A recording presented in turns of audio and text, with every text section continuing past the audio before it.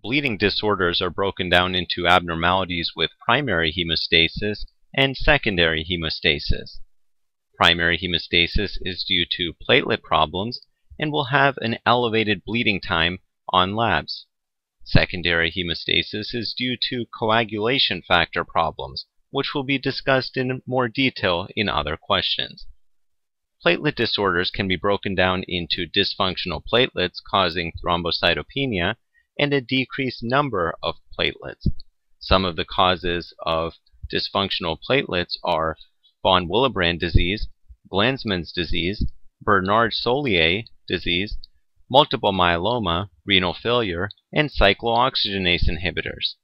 Just this statement means that choices A, B, D, and E are all due to dysfunctional platelets.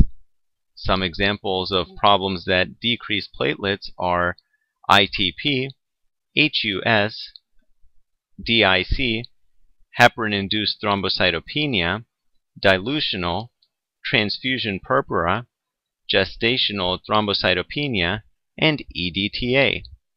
Choice C, EDTA, is the correct answer. This substance is an anticoagulant that causes platelet clumping in some patients. It is considered an artifact. Consider this problem in someone who has normal platelets and the next day it acutely drops to a very low number without any signs of bleeding.